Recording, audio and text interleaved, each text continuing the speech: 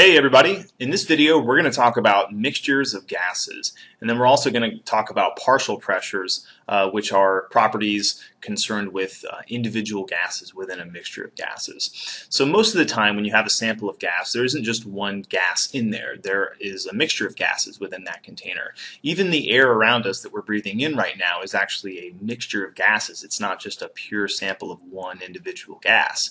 So if we look at this pie chart here uh, that sort of breaks down the composition of dry air. Uh, so again, we're assuming that the air is dry. There's no water molecules floating around in that air, which uh, where I live here in Florida is pretty unlikely. It's very humid down here. Uh, but anyway, if the air is dry, uh, then the air is made up of the following components. Uh, we can see that nitrogen gas is by far the largest component of the air, coming in at 78%. Uh, the second largest component of the air is oxygen at 21%. Uh, we got a little bit of argon in there, almost 1% argon, and then there's a small amount of carbon dioxide in the air, 0.04% of our air uh, is carbon dioxide. And then the rest of the air, the 0.06% left over, uh, is a mixture of uh, other gases that are present in very, very small amounts. So again, we're going to talk about mixtures of gases such as air, and we're going to talk about partial pressures, and we're going to be able to derive an expression uh, for partial pressure and to be able to understand what it means and also uh, to do some calculations involving partial pressures. So what a partial pressure is, uh, and it has the symbol P sub n, is the pressure that is exerted by a single component in a mixture of gases. So what we're going to do here is we're going to make some simplifying assumptions about a mixture of gases. We're going to assume that all of the mixture, or excuse me, all of the gases within that mixture uh, behave as an ideal gas. They're going to display ideal gas behavior. And what that means is that each gas within the mixture is going to behave independently of the other gases that are in there. So each gas is going to act as if it were the only gas in that container. So that's what we call ideal gas behavior. So again, if we have a mixture of uh, gases a, B, and C, let's say, and we apply the ideal gas law to see if we can't get an expression for the partial pressure of each individual gas. Well, remember, the ideal gas law, that's PV equals nRT. And so to solve for pressure, we would simply divide both sides of that ideal gas law equation by volume. So for instance, if I wanted the partial pressure of gas A, it would just be, again, dividing ideal gas law, both sides of it, by the volume, and you would get the amount of A in moles multiplied by RT over V. If we wanted the partial pressure of gas B, it would be very similar. It would be the amount of B in moles times RT over V. And then, yep, you guessed it, if we wanted the partial pressure of C, it would simply be the amount of C in moles multiplied by the quantity of RT over V. So these are going to be the expressions to determine uh, the partial pressure of each individual gas within a mixture. It's also true that if these gases display this ideal gas behavior where they're each behaving independently of the other gases, it's also true that the total pressure in that container that has that mixture of gases is going to be equal to the sum of the partial pressures. So P total equals the pressure of A plus the pressure of B plus the pressure of C plus the pressure of any additional gas that might be in that mixture. And this relationship where the total pressure is the sum of the partial pressures, that is what we call Dalton's law of partial pressures. So we have two useful equations here. We have uh, an equation that gives us an expression for the partial pressure of each gas, and then we have an equation uh, that basically equates the sum, again, the sum of the partial pressures, which is equal to the total pressure. So let's see if we can't sort of manipulate these equations uh, to derive another equation that might be useful to us and allow us to do some pretty easy calculations. So again, a moment ago we established that the total pressure is equal to the sum of the partial pressures. And what we can do now is we can uh, substitute the expressions for the partial pressures into this equation. So again, it's going to be the amount in moles of each gas multiplied by RT over V. If you add those all together, then you'll get the total pressure. And we can actually manipulate this equation and clean it up a little bit by factoring out that RV, RT over V term. So because all of these uh, three terms that we're adding together here all include that RT over V factor, we can actually pull that out and the resulting uh, equation looks like this, where you have the quantity of all of the individual uh, molar amounts of each of these gases. That quantity is now multiplied by that RT over V term. So we have Na plus Nb plus Nc plus N of however many other gases are in the mixture, and that whole quantity is multiplied by RT over V. And this simplifies a little bit further down when we make the assumption that all of these uh, moles of gases added together, if we assume that to be the total moles, then it becomes N total, the total amount of moles of all the gases in the mixture, times RT over V. That's going to also be equal to the total pressure.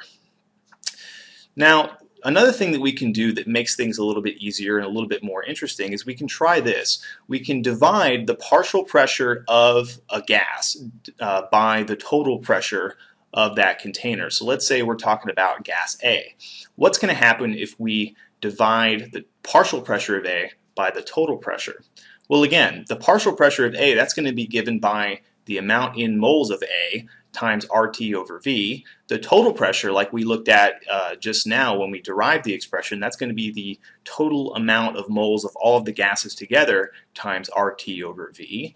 And this uh, expression simplifies even further because those RT over V terms are going to cancel, and that's going to give us the amount in moles of gas A over the total moles of all the gases in the container.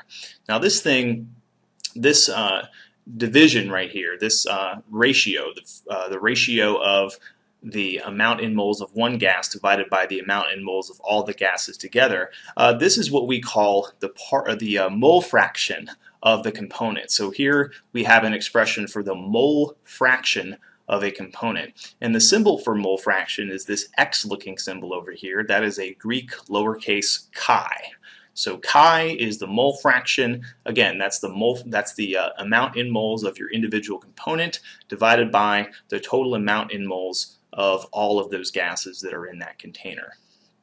So now we have an expression for the mole fraction, and what we can do even further is we can take the side of the equation uh, down here that's all the way on the left, that PA over P total, we can take that and we can equate it to chi. We can equate it to uh, the mole fraction. So if we do that, we have PA over P total equals chi sub A. So again, that is the partial pressure of A divided by the total pressure is equal to the mole fraction of A.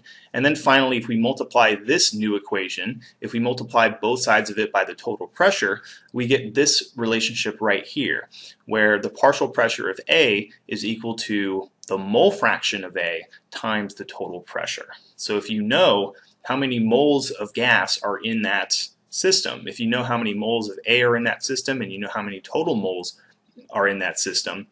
You can, and you also know the total pressure uh, of that uh, container, then you can easily determine the partial pressure of A by simply multiplying the mole fraction of A by that total pressure. Okay, so that was a huge mouthful and a lot of uh, a lot of uh, interesting derivation stuff there. Uh, let's go ahead and do an example of a problem using partial pressures, and then we'll be all done. So this problem says that we have a 5.00 liter vessel and it's got some helium, some krypton, and some xenon inside of it. And the total pressure of this container is 5.00 atmospheres and the temperature is 273.15 kelvins. And it says that if the partial pressures of helium and krypton are 2.42 atmospheres and 1.71 atmospheres respectively, then how many moles of xenon are going to be in this mixture? So again, if you look at this, it might look a little intimidating, like where the heck do I start? Uh, but as long as we use those relationships that we just discussed, uh, we should be okay trying to figure out how many moles of xenon are in this. Well, we know that the total pressure of this, uh, which is given by the way, is going to be equal to the sum of the partial pressures. So we got the total pressure equal to the partial pressure of helium plus the partial pressure of krypton plus the partial pressure of xenon. And the thing that's unknown in this entire equation is the partial pressure of xenon. So maybe the partial pressure of xenon can be used to determine how many moles of xenon are in this container.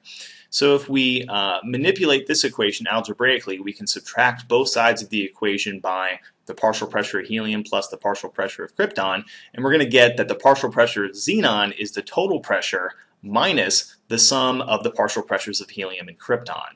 So if we fill those numbers in, it's going to be the total pressure, 5.00 atmospheres, minus the sum of 2.42 atmospheres and 1.71 atmospheres. And that's going to turn out to be 0.87 atmospheres. So now we have the partial pressure of xenon. Now that we have the partial pressure of xenon, uh, we can use an expression that we looked at in uh, the previous slides of how do you how do you use the ideal gas law to express the partial pressure of each gas? Well, the partial pressure of xenon is going to be equal to the amount in moles of xenon times RT over V, according to the ideal gas law. So again, we're making the assumption here that all three of these gases are behaving as ideal gases. Uh, and so if we um, manipulate this equation, all we got to do is solve for n. So what we're going to do is we're going to multiply both sides by the volume, divide both sides by the product of R and T, and that's going to get that the amount of xenon in moles equals the partial pressure of xenon times the volume divided by the product of the ideal gas constant R and the temperature T. And now all we have to do is just plug in those numbers and evaluate the expression.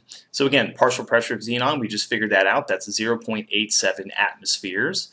Uh, the volume, which is given, that's 5.00 liters. Uh, on the bottom there, the ideal gas constant, that never changes. It's always going to be 0.08206 liters atmospheres over moles kelvins. And then that's going to be multiplied by the temperature, again, which is also given. That is 273.15 kelvins.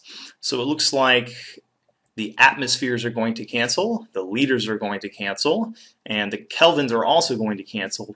And finally, uh, we're going to keep this to two significant figures. Uh, if we just punch it into a calculator, round it to two sig figs, uh, the answer will be 0.19 moles of xenon. And of course, we could, if we wanted to, we could convert that into a mass of xenon. Uh, if as long as we had a periodic table handy, we could figure out the molar mass of, of xenon and then convert that 0.19 moles uh, to mass, or to grams rather. So again, uh, that's one example of using partial pressures. Uh, there are other ways to use partial pressures. We didn't really go into that whole mole fraction relationship here. Uh, but again, as long as you understand the formulas and you understand how to derive the formulas, uh, you should be able to solve any kind of problem involving uh, partial pressures. You just got to you just got to pay really close attention uh, to what the problem is giving you and what it's asking for. All right, that is it. So Ciao.